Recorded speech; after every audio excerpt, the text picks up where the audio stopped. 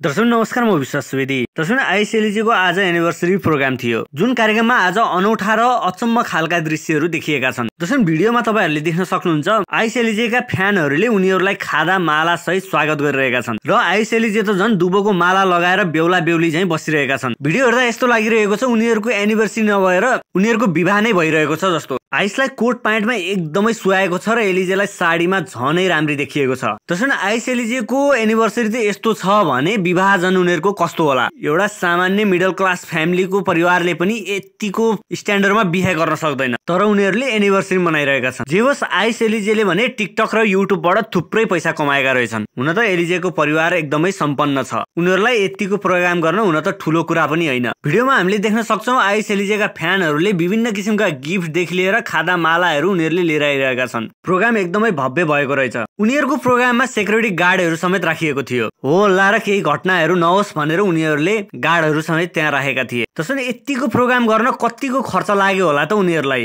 अनुमान लगाउन सक्नुहुन्छ भने कमेन्ट मार्फत आफ्नो प्रतिक्रिया दिनु होला जे होस् एलिजेलाई भने नेपालकी बेहुली भनेर प्योर देखिन सकिन्छ यस भिडियोमा। यस भिडियोमा उनलाई नेपाली प्योर बेहुली देखिएको छ। प्रोग्राममा आयुषले गीत गाएका थिए र र तलबाट दर्शकहरूले एकदमै हुटिङ गरिरहेका थिए। जसरी नेपालमा यो पनि एउटा अचम्म र अनौठो किसिमको दृश्य हो। यस्तो किसिमको दृश्य नेपालमा एकदमै कम देख्न पाइन्छ। एउटा नेपाली सेलिब्रिटीलाई पनि यतिको फ्यान फलोइङ भने छैन है। तर एउटा सामान्य टिकटक स्टार भएर यतिको फ्यान फलोइङ बनाएर उनीहरूले आफ्नो फ्यानहरूलाई यति खुसी दिन सक्नु भने चान्चुने कुरा भने होइन। फ्यानहरूको यो माया देख्दाखेरि तपाईँ हामीलाई अचम्म पनि लाग्न सक्छ। एउटा नेपालको ठकुरीको छोरोले पाकिस्तानी मुस्लिम केटीलाई माया गर्छ र मुस्लिम केटीले पनि एउटा नेपाली ठकुरी छोरालाई माया गर्छ। उनीहरूको माया सारा दुनियाँलाई मनपर्छ। एउटा कहानी पनि हुन सक्छ उनीहरू दुईजनाकै मन एकदमै सफा छ। सायद त्यही कारण पनि होला उनीहरूलाई माया गर्नेको संख्या एकदमै बढी छ। आइसले उक्त प्रोग्राममा यसरी गीत गाएका थिए र सम्पूर्ण फ्यानहरूलाई यसरी मोहित बनाएका थिए।